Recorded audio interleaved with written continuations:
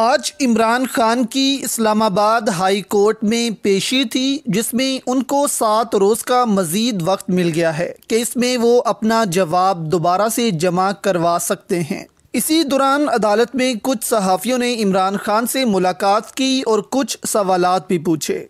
इमरान खान ने Islamabad high court पेशी के दौरान सहाफ़ियों से गैर रस्मी गुफ्तु की। इस दौरान सहाफ़ियों ने इमरान खान से सख्त सवाल किए। इमरान खान की कमरा अदालत में गुफ्तु करते हुए इमरान खान ने कहा कि रास्ते बंद कराने की समझ नहीं आई कि इतना खौफ किस बात का है। हमने तो वर्कर्स को भी कॉल नहीं दी। इमरान खान का मजीद कहना था कि इतना खौफ क्या है, मैं इस पर हैरान हूँ। एक सहाफ़ी ने इमरान खान से सवाल किया कि क्या आप किसी मरहले पर माजरत करेंगे?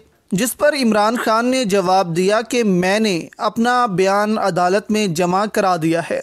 इलेक्शन से मुतलिक एक सहाफ़ी के सवाल पर, कि इलेक्शन कब देख रहे हैं, जिस पर इमरान खान ने जवाब दिया कि मैं जल्द ही इलेक्शन होते देख रहा हूँ। सहाफ़ी के मुसलसल सवाल पर कि आप माजरत करेंगे? इमरान खान ने कहा कि आप मशवरा दें, मुझे क्या करना चाहिए? वाज रहे कि आज अदालत ने समात आठ सितंबर तक मुलतवी कर दी है और इमरान खान को जवाब देने का एक और मौका दिया है। इस मौका पर जस्टिस गुल औरंगज़ेब ने कहा कि आपको जवाब दाखिल कराने का एक और मौका दिया गया है। आप इस पर सोचें, ये कार्रवाई आज ही ख़त्म हो सकती थी, लेकिन आपके जवाब से ये ख़त्म नहीं होगी। समाज के बाद इमरान खान कोर्ट से रवाना हुए तो सहाफ़ियों ने इमरान खान से सवालत की बौछाड़ कर दी, लेकिन इमरान खान जवाब दिए बगैर चले गए।